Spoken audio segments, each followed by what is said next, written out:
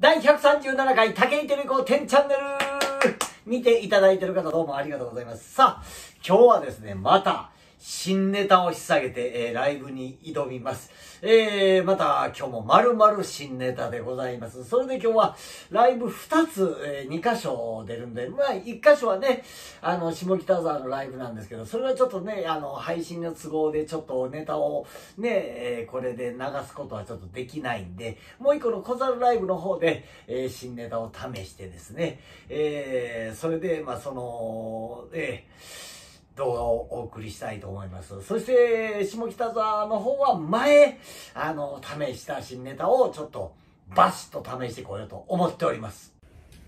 子供の頃、近所の公園でおっさんが童心に帰って隠れんぼしてたよ。一人で。そんな町で生まれ育ちました竹井照子です。よろしくお願いします。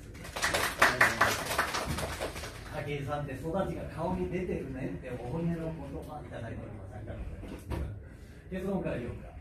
55歳です午前中霊柩車見たら必ず親指隠してます最近家の近所でインド人が経営す。るスプーンを使わない本格的な店でそこ でカレーを手で食べてたらインド人の店員がしていて「すいません。失礼しました」ってスプーン持ってきたんです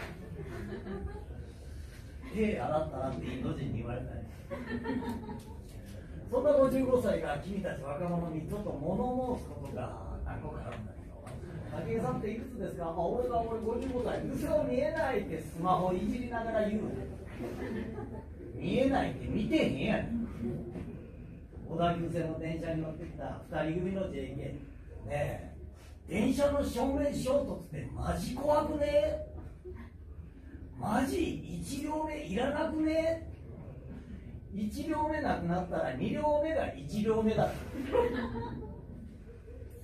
ねえこのビーフカレー何の肉入ってんの？チキンじゃねえ？会話が正面正面。俺の家の近所のコンビニ。夢を抱いた10代のギャルと夢を捨てたおっさんが働いてるコンビニ。いつ行ってもレジが並んでるわけ。それなのにずっとパン並べてる夢を捨てたおっさん。もうレジのギャグがたまりかねてレジをねこれ業務用語だろレジお願い。そしたらおっさんが「了了解だ」ね。おっさんがレジのとこに来たらそのギャグが「あのさパンは逃げないけど客逃げるよ」人生の大先輩に名言を吐くな。聞いてんの店長って店長やったんだ。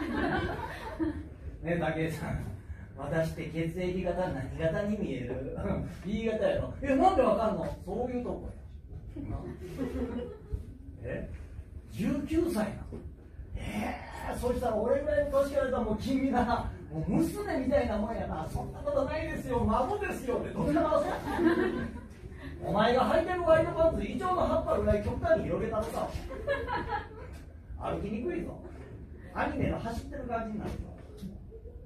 私の彼絶対浮気してるわ。なんでわかんの？彼のスマホの位置情報でわかるの。同じとこに3時間もいてるの。考えられる。そこからココスに行ってまた元に戻ってるの。ということは3時間ぐらい話してじゃあココス行って帰ろうでもココスでいい感じになってちょっといいことしようって部屋に戻ったんじゃないのってお前はコナンか。え彼氏の位置情報とかやってんの？うんでも自分やられるの嫌だけどってどういうことやねん。そうそう帰るわ。はい。ということで、まあ、あの、新ネタで言ったわけなんですけど、ちょっとワンフレーズワンフレーズが弱いなと。いう感じですね。まあ今日はその小猿ライブっていうのと、それと下北沢のモータースライブっていうのを2本、えー、ライブに出てきたんですけど、まあそのモータースライブは、えー、以前これで配信した小猿ライブでやった新ネタ、受けたネタを、それをまた修正して、モータースライブでやったら、爆笑を取りました。もう全部、うん。だったらその映像見せろやって思うけど、あの、ごめんなさいね、それちょっと配信の都合で。撮影ができなくて。いや、もうね、初めてやっていうぐらいちゃんとツボツボで爆笑取れましたね。だから、この55歳から見て若者たちに物申すっていうのは、あのー、もっといろんなフレーズがどんどん出てくると思うし、えー、なかなか、あ面白いネタができるに違うかなと思いますわ。で、あのー、彼氏の携帯の位置情報とかいう、あれね、俺この前家の近所でちょっと居酒屋さんでちょっと飲んでたら3人ぐらい大学生かな女の子が自分の彼氏自慢をそれぞれしてる会話を聞いたのよ。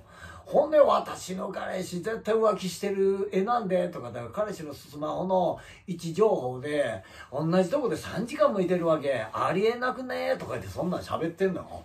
すげえ時代やし、面白いな。それでさ、もう元彼がしつこいのよね。って私のインスタのストーリー見つけてさ、いろいろこうコメントみたいなの書いてくるわけ。ちょっともう束縛というかついてこないでほしいみたいな。だったらそのストーリーズにあげるなよとか思うんやけど、なんかその会話聞いてて面白いなと思って、で、彼氏すごいのもう携帯の充電の減り方ですごく嫉妬するのとかで、そうなんや。面白いなって。で、彼って電話してても全然喋んないわけ。それでもう私からいつもこう話題を振ったりするわけ。で、前も電話した時ずっと黙ってるからもうたまらなくなって、ねえ、なんでそんな喋んないのって言ったら彼なんて言ったと思う？電話で繋がってるだけでも幸せじゃんって言うの。何それ？ケケケケケなんじゃそりゃ。で、ずっと横でそれ聞いてて、えー、なかなかね、えー、ああいう子たちの感覚のそういうやりとりをちょっと僕から55歳から言ったら変やでとかいうのをなんかネタにできたら面白いなと思っております。また新ネタ作ります。ご視聴ありがとうございます。チャンネル登録よろしくお願いします。